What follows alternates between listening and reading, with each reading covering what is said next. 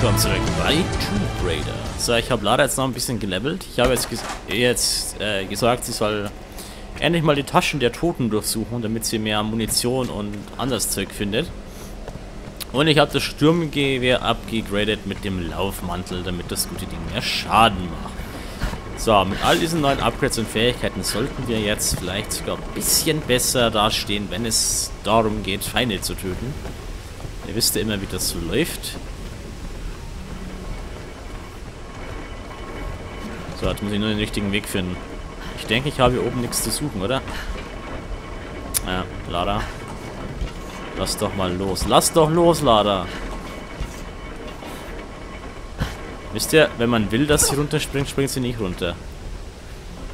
Das ist immer so typisch Frau. So, wieder meine Brandpfeile rein. Ach hey, ich muss jetzt da nicht rüberspringen, oder? Moment, hier kommt das Nee, ich glaube, ich bin ja falsch. Aber es sieht lustig aus. Nee, hier könnte ich ja gar nicht hinspringen, die Dinger. Ich glaube, ich muss da noch, nach oben, zu diesem, diesem Ding da. Ist auch ganz lustig, dass sie das die Windmühle nennen, ja.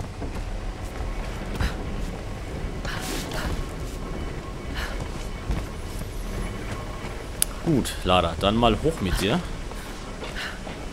Ach ja, hier gibt es ja überall Gehwege von dem her. Ah! Ich beinahe ausgerutscht. Wetten, dass ich jetzt wieder wild um mich ballern darf. Kommen jetzt bestimmt wieder hunderte von Leutchen da unten. Ja, muss, muss ja fast so sein, wenn es... Bist du da? Wegen den roten Fässern.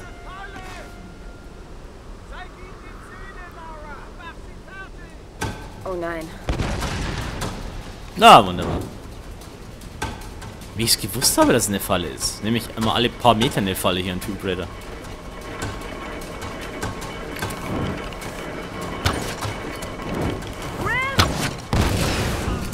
Boots. Genau, dass man da ziehen muss mit dem blöden Bogen, ist der Hammer.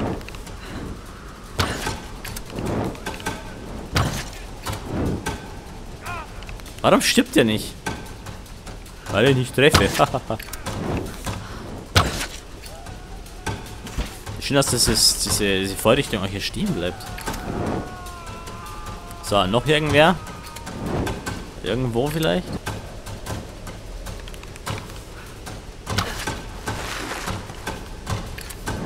Ach, da kann ich die Dinger wegmachen, die Deckungen mit dem Seilpfeil. Das ist ja toll.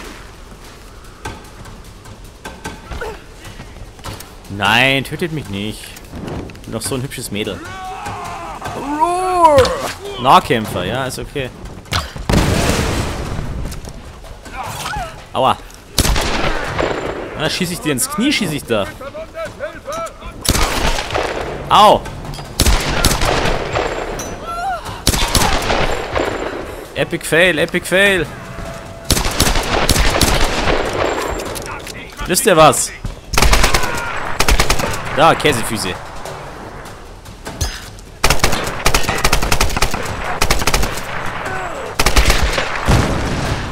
Viel die aushalten würden. Er schießt ihn eh schon mit dem Sch mit dem Sturmgewehr ins Gesicht, wollte ich sagen, ja. Und sie stehen immer noch.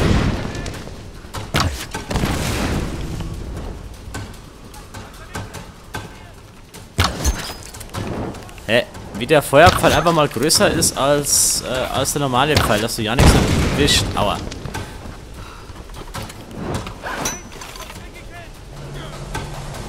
Und dann kommt das nächste Dynamit.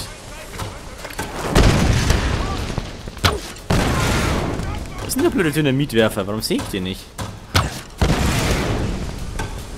Da ist er. Ups. Der Sniper wäre so praktisch. Jawohl, der explodiert wenigstens, wenn ich aufschieße.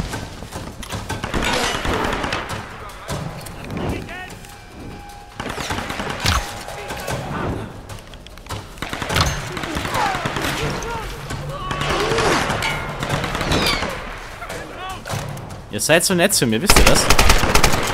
Aber ihr vergesst immer, dass ich auch habe.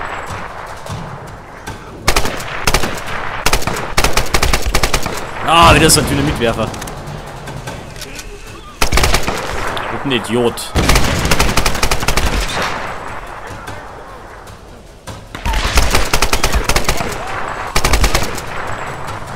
Deckung, Lader. Ah, Dynamit! Ach du Heilige.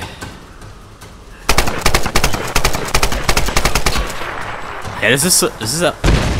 Ach komm, der kann mich... Egal in welcher Position, der wirft immer genau dahin, wo ich sitze. Die Waffe weg!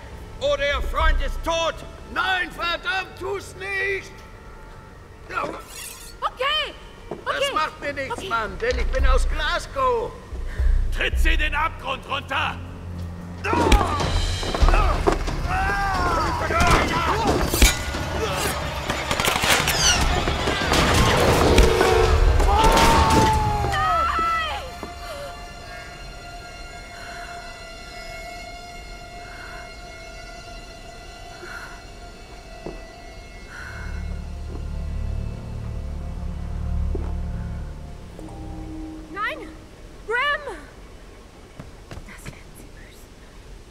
Ganz interessant. Sie ist total entsetzt, wenn einer der Freunde stirbt, aber wenn sie andere Menschen tötet, ist ihr das egal. Genau, Lara. Wir müssen einen Weg finden, um in den Palast der Solari zu kommen. Das ist viel, viel wichtiger als alles andere.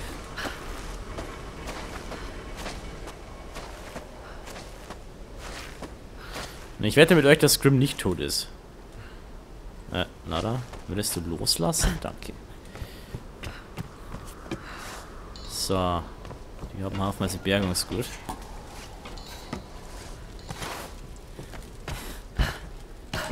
Mir ist gerade aufgefallen, sie hat dieses Feuerzeug, was sie gefunden hat. Vorne am Buchen dran, da liegt der Pfeil drauf. Das ist mir noch gar nicht aufgefallen. Was ist? Man findet immer wieder was Neues an dem Spiel. So, nee, das da vorne ist nicht der Tempel, oder? Das auch nicht? Wo hat Lara denn hier den Tempel gesehen, bitte? Spinnt die Gute? Kann sie doch von hier aus gar nicht sehen. Hey, da ist sie! Durchschneiden! Oh oh. Schon dabei! Du bist aber ein schlechter Schütze. Ich kann nichts machen, oder?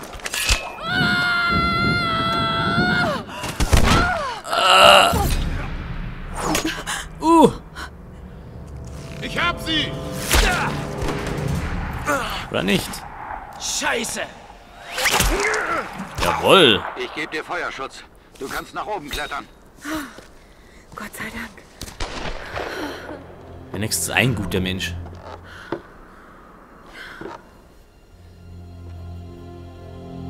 Roth. Ja? Grimm ist tot. Sie wollten ihn als Druckmittel einsetzen, damit ich aufgebe. Er hat's verhindert.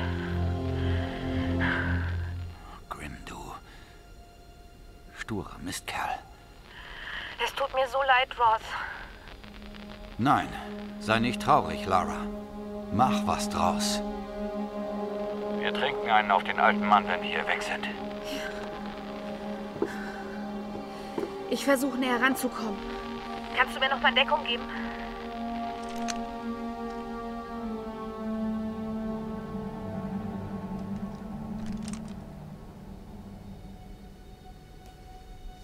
Ja. Ich habe ein freies Schussfeld bis zu den Palastmauern. Okay.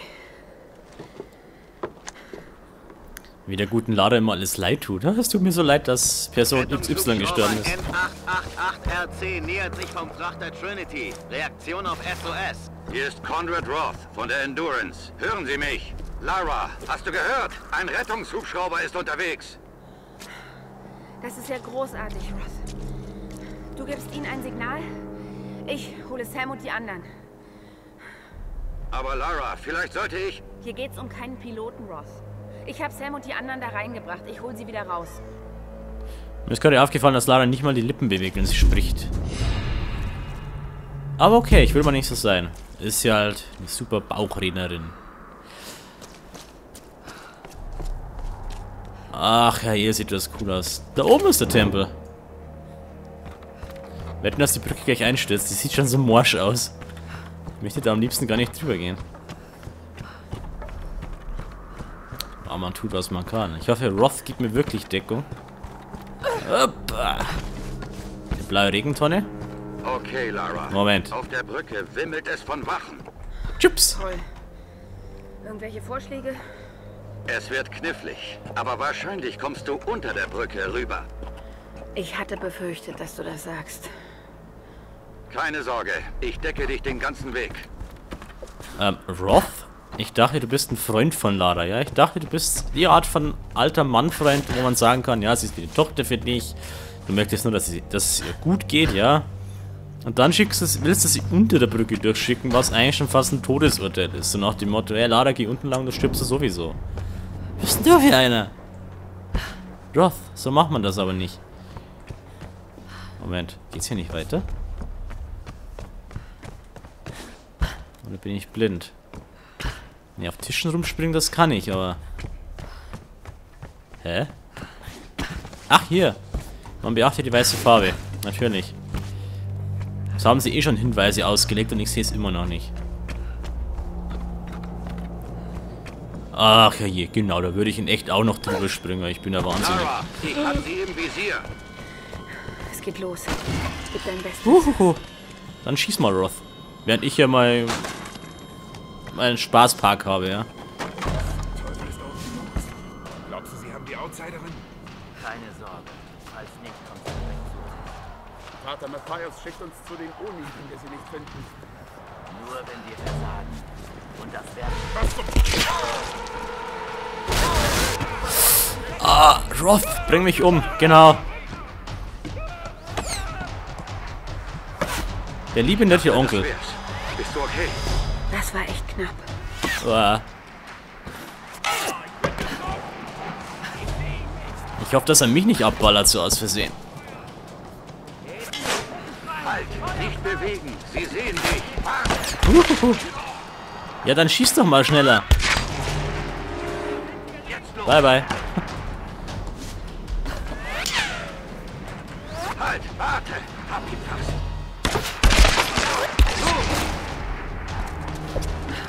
Warte, warte. Ja, ja, ich warte ja eh. Schieß doch. Ihr könnt Lara auch durchschießen mit der Pistole. Danke Der- für die Deckung. Der Weg denke, müsste frei sein. Lara, pass auf. Ich brech dir das Genick! Ergib dich! Jawohl. Ah, ah, ah, ah, nein, nein, nein, nein, nein, nein, nein, nein, nein, nein. Wir fallen jetzt nicht runter, ne? Alter Schwede. Lara, es sind zu viele. Verschwinde von dort. Gib mir halt Deckung, oder? Ei, ei, ei, ei, ei, ei.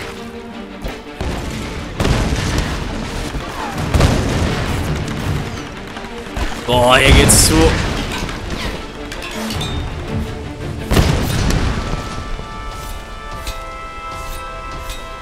Ich glaube jetzt nicht, dass sie das in echt schaffen würde. Da geht mein Rückweg dahin.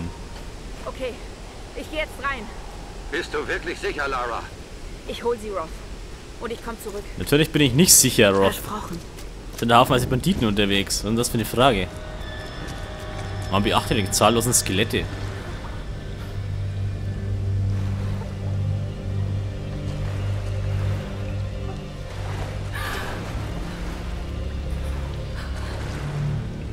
Tja, Lara, da ist das Wasser ein bisschen tiefer, ja? Ja, du schaffst das schon. Mach mir da jetzt keine Sorgen, dass du absäufst oder so.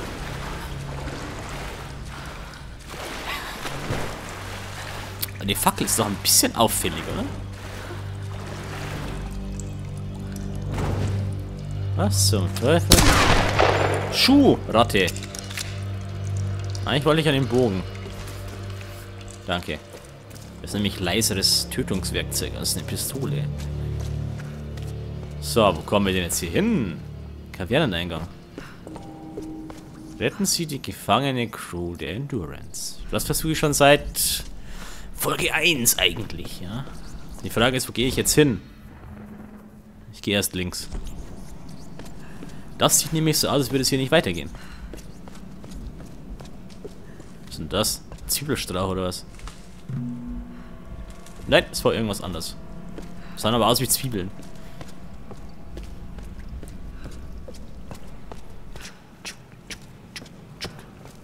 Wäre es nicht interessanter, wenn du schleichen würdest, Laura? Uh, Stimmen. Wir sind nicht allein. Brüder, hört mich an! Draußen in der Welt waren wir nichts.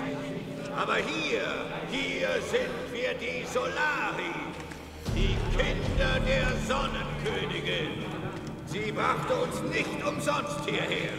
Ich weiß, ihr sehnt euch nach Freiheit. Ich weiß, ihr wollt weg von diesem Ort. Aber dafür müssen wir die Königin befreien. Sie ist eine Gefangene wie wir. Wenn wir sie befreien, befreien wir uns selbst. Dieses Mädchen trägt das Blut dieses Landes in. Sie könnte der Schlüssel sein.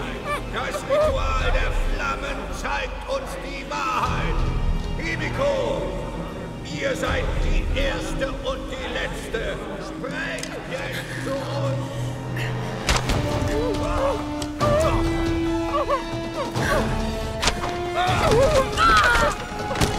Mein Bruder getötet. Jetzt töte ich dich.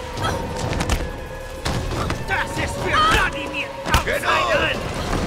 Dimitri, Nikolai, bringt sie zu mir.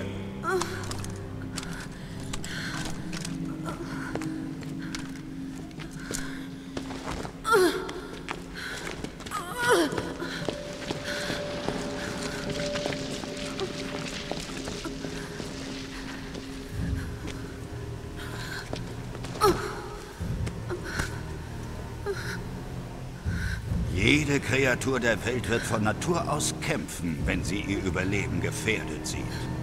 Glaub also nicht, ich verstünde dich nicht, aber ich mache das schon länger. Macht euch bereit, Brüder! Unsere Königin wird gleich zu uns sprechen! Sprecht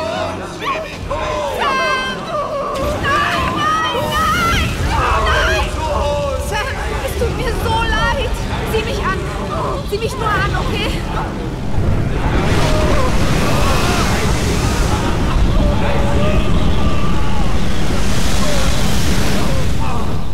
Sie, ist die eine! Schon bald, meine Brüder! Bald sind wir frei! Bringt sie in den Thronsaal. Dein Kampf ist vorbei.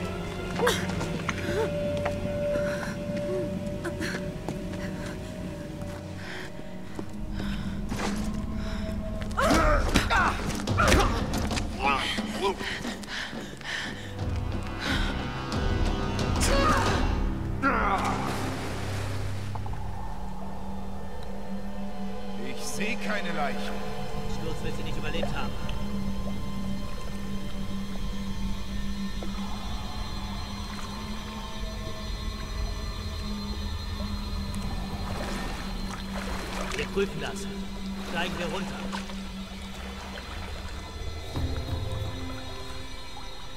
Oh, ich habe Modell freigeschaltet. Ja, Wahnsinn, Lara. Das war eine ziemlich dumme Aktion, was du da gemacht hast.